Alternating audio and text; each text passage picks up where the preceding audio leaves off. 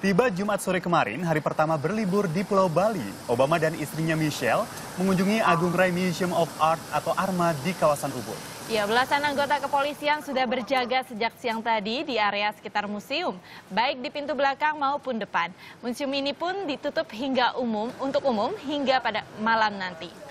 Kedatangan Barack Obama sekeluarga beserta delegasi ke Museum Arma Ubud langsung disambut dengan puluhan penari Bali anak-anak yang sudah bersiap di area masuk museum. Ya, dalam kunjungannya ke museum ini, Barack Obama akan menyaksikan tarian khas Bali dan lukisan kontemporer hingga modern karya para seniman di Bali.